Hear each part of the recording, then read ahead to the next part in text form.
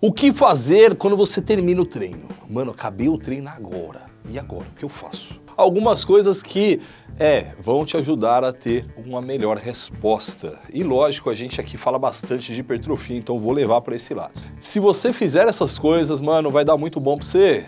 Vai ser bem legal. Antes da gente começar, eu já vou falar para você que são, ó, eu listei aqui. São cinco coisas. Cinco coisas! E você me conhece, eu deixei a melhor pro final. é lógico, eu quero que você fique aqui comigo, não vou mentir. Tem uma galera que vem aqui, assiste o vídeo, gosta do nosso trabalho e não se inscreve, mano. Se inscreva aí. É uma forma que você dá um feedback pra gente que tá curtindo o trampo e etc. E ainda dá uma moral pra nós. Let's go! Cinco coisas, cinco coisas que você vai fazer depois do treino. A primeira coisa é uma coisa que poucas pessoas fazem. Pouquíssimas, brother. Pouquíssimas. Que é Terminou o treino, mano, bebe água. Vou falar para você que a recomendação é que você beba 500 ml de água antes do treino e 500 ml logo após o treino. Essa é a recomendação. Pensa comigo, quando você treina, se você treinar bem, né? Você fica ofegante? Fica.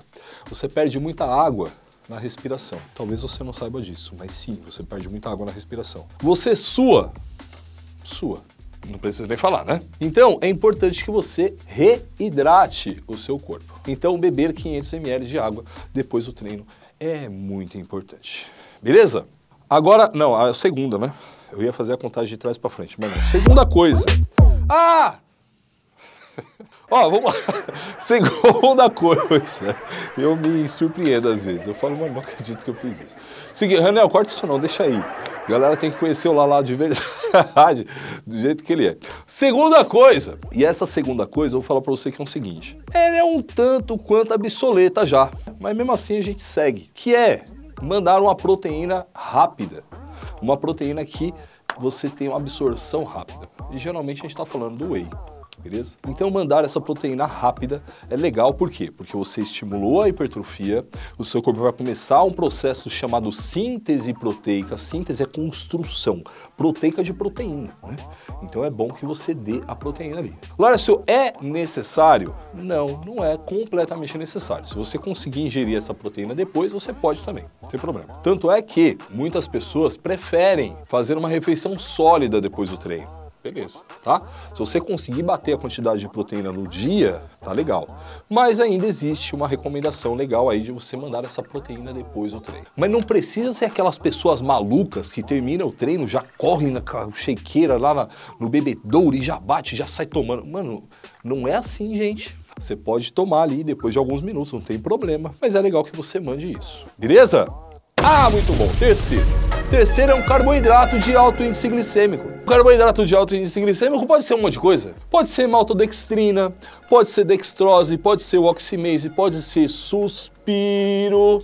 A gente já falou nisso em outros vídeos aqui. Pode ser doce de leite, pode ser goiabada. E aí vocês vão pensar em outros doces aí. Gente, doce é carboidrato de alto índice glicêmico. O que é um carboidrato de alto índice glicêmico? O que mais se aproxima do açúcar, ou o próprio açúcar. Se você quiser tomar também algum suco, suco de laranja, suco de uva, beleza?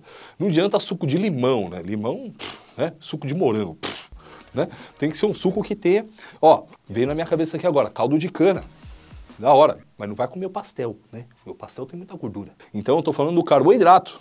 Tudo bem? Lárcio, isso também não se tornou obsoleto? Sim, de certa forma sim. Mas você repor esse carboidrato que você gastou lá no treino, né? É legal. Então tem todo um lance aí legal. Você pode jogar a creatina ali junto. Poderia falar da creatina, mas não. Por quê? Porque a creatina ela é melhor absorvida quando você está com a insulina mais alta. E esse é o momento legal para fazer isso. Eu adoro fazer o pós-treino, sabe como? Doce de leite e biscoito de maisena. Ai, é uma delícia né? Passo, mas, né, o, o, doce de leite no biscoito e tal, e pá, e, nossa, maravilhoso. Mas tem que calcular tudo, né? Você tem noção, coloca o pote de doce de leite em cima da balança. Aí eu pego e lá de novo. Eu pego e lá de novo, até chegar na gramagem que eu preciso comer. O biscoito de maisena eu já conto antes. Eu tiro da embalagem, conto, coloco ali no prato e aí eu já guardo o pacote, porque eu tenho vontade de comer três pacotes daquele se eu tiver de dieta. Então, se você calcular direitinho, você pode comer tudo. Chegamos ao quinto. É o quinto não, é o quarto agora, mano. Raniel, eu tô perdido aqui. Ó, eu falei de beber água, falei da proteína, falei do carboidrato. Agora é o quarto. É o quarto! Top 3! Teve gente que foi uma palhaçada, gente, esse negócio de top 3. Então, o quarto é o seguinte: poucas pessoas fazem e poucas pessoas não. Na verdade, poucas pessoas conseguem. É, muitas pessoas não conseguem.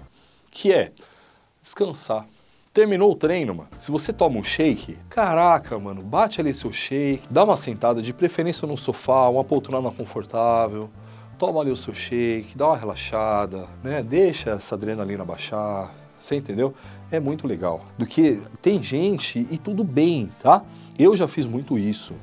Caraca, termina o treino já tomando negócio, já sai correndo e tal, que não sei o quê não é tão legal. É bacana você dar uma descansada. Agora, gente, agora sim, a gente chegou no quinto, reunião. Pô.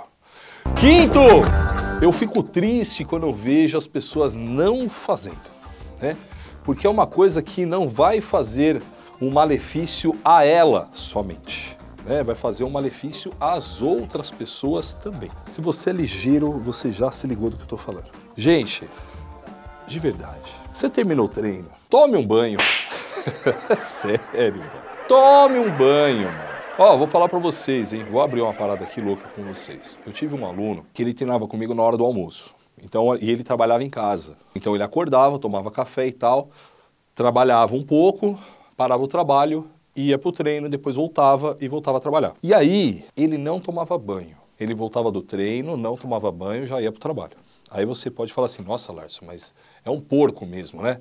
Não, mano, às vezes o cara tá tão atolado de trampo que o cara quer adiantar o trampo e falar, puta, depois eu tomo banho. Pode acontecer, gente. E aí, mano, ele teve, não sei se foi uma micose, sei lá, no saco.